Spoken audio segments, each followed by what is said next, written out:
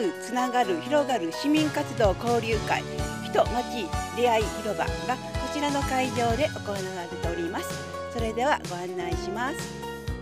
まずは市民活動団体の発表や展示などを通じて私たちの活動を知ってもらいそしてその後お互いの課題を出し合いマッチングするという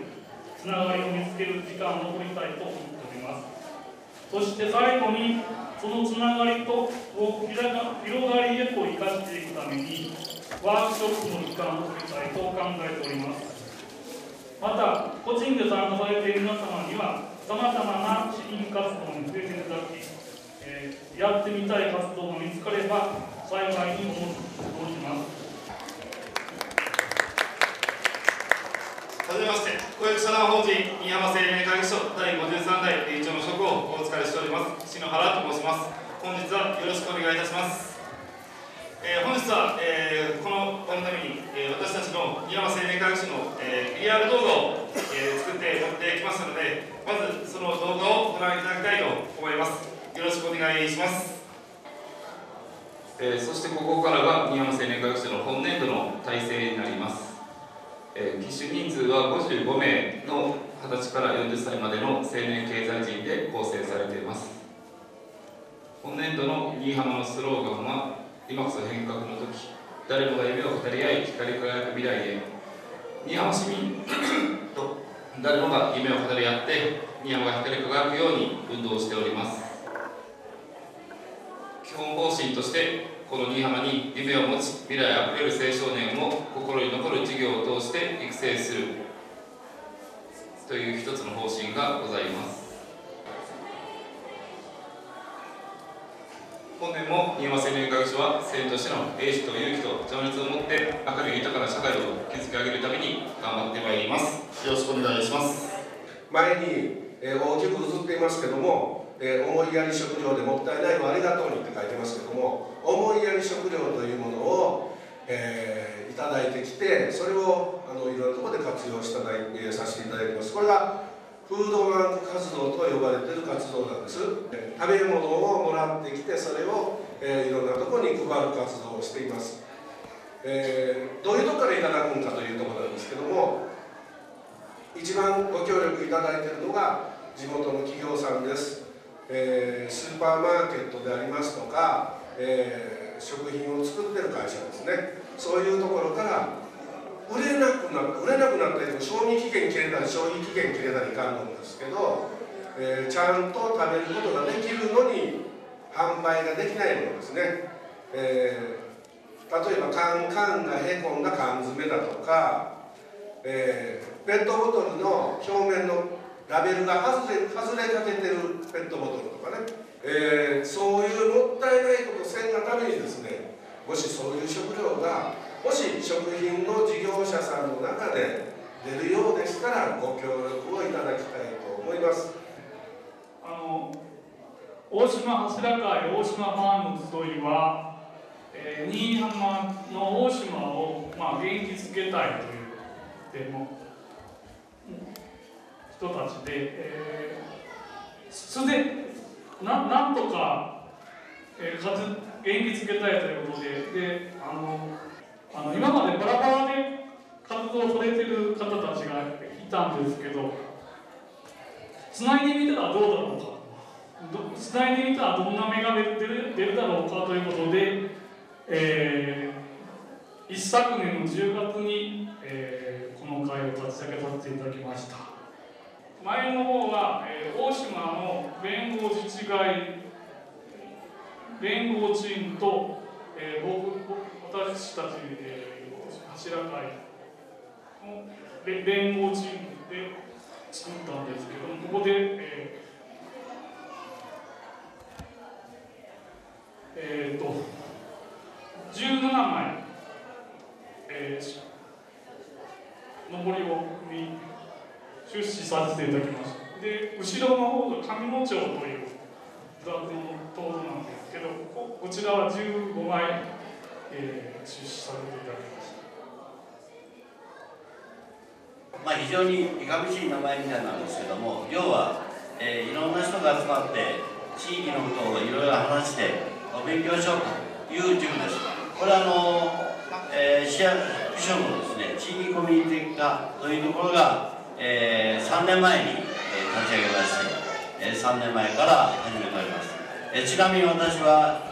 えー、1回目2回目3回目、えー、連続して、えー、お勉強しますけどもあまり身にはなってないんですけどもこれから、えー、しっかりとまた生かしていきたいというふうに思っております。あの前置きはこのくらいでですね、えー、新居浜市が今、えー、11万12万ぐらいのあ人口でございますけどもこれから二十数年後には9万人ぐらいに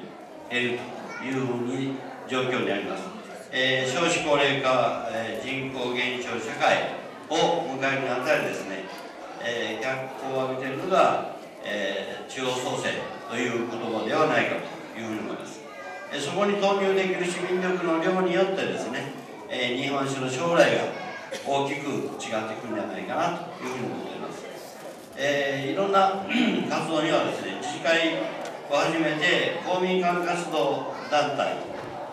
の地域活動と特定の目的を持って活動しておられる先ほどの、えー、NPO の方えー、ボランティア団体に代表される市民活動、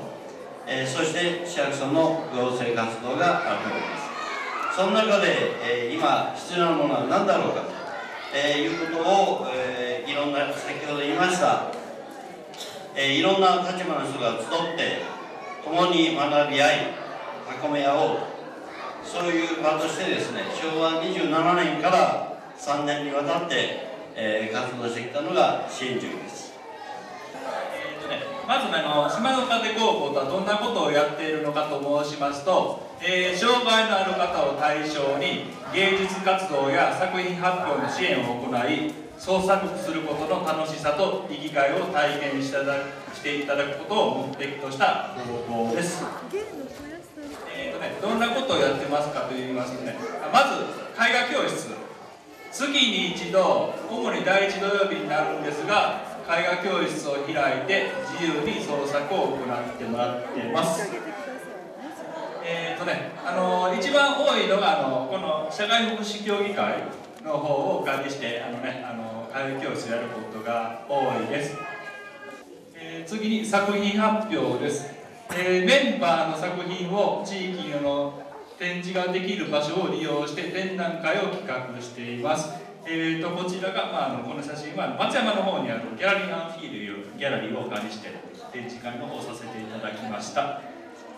えーと、その他はですね新居浜市まちづくり共同オフィスの方に、えーとね、展示していただいたこともあります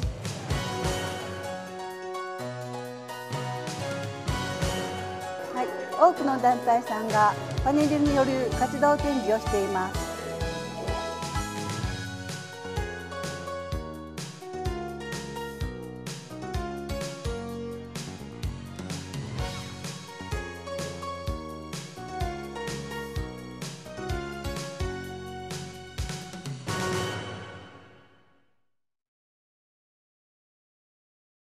活動内容をちょっと簡単でいいので、えっと、教えていただけますか？はい、活動内容といって一応ねあの高齢者の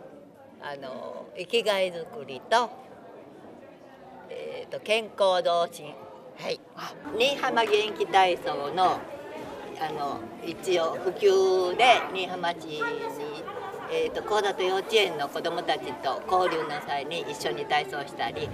介護施設へ行って高齢者の方と一緒に体操したり歌ったり、はい、元気づくりです。えいえい団体名は東洋テクノクラブと申しまして、えー、新居浜市では初めての団体として登録されました。えー、ということで内容的にはえー、まああのー、その目的がですね、えー、技術者の集いで、えー、将来における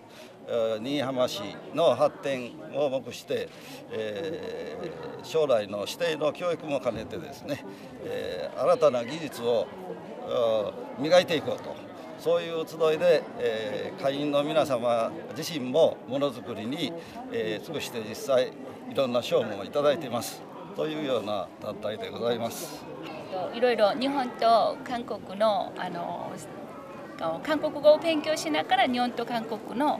あの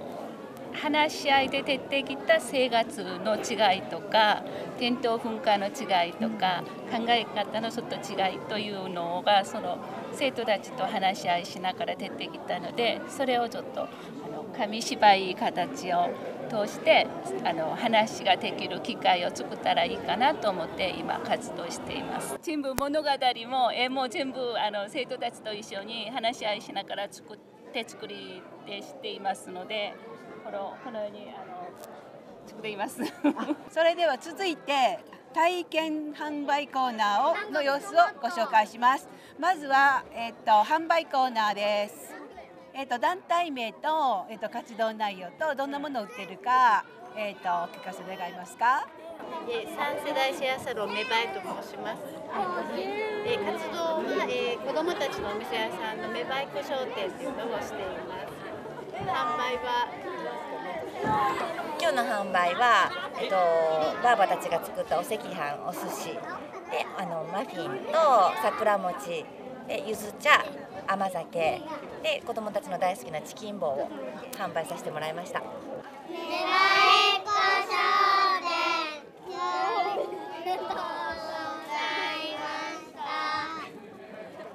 えっと普段活動は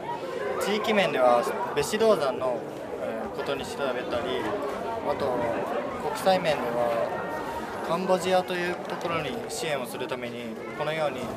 販売をしたりして支援をしています。カンボジアの特産品であるかぼちゃを使ってスイーツを作って今これはかぼちゃのスノーボールを販売しています。私たちは新居浜市おもちゃ図書館記者ポッポです。普段は子どもたちと手作りのおもちゃを使って遊ぶ活動をしています。今日の展示は、えー、手袋でえ物語を語って遊べるような手袋シアターエッフェル塔で手をつなごうっていうタペストリーで世界の子どもたちが仲良く手をつないででくっついたり離れたりしますから子どもがまた好きなようにデザインできるそのようなおもちゃを持ってきました。でこれで遊んでもらうっていうそのような形にしています。工作折り紙の会ということで折り方をもっと普及さそうということで去年から始めてます。で去年もここで体験コーナーをいたしまして今年2年目なんですが今年はこの以前折り紙のこういう折り方というのを出してたんです。これをリニューアルすると。新しい折り紙の折り方っていうのをもっと普及さそうということで集まっております、約10年ぐらい積み木を児童館とか小学校保護放課後の児童クラブなどであの子どもたちと積み木遊びを楽しくしています。まあ、メンタルヘルスに関わることでこれからあの小学校から2020年からねあの学習指導要領が大きく変わっていって子ども学校教育の中で子どもたちはコミュニケーション能力を問われる時代になってきます。でそんな中で大人のこう先生方、ね、私たちもすごく戸惑う。で子どもたちも戸惑うっていうところを馴染みをつけていく活動にもなろうかと思いますのでぜひ積極的にアプローチしていただければと思います。よろしくお願いいたします。高齢者に見合った地域活動している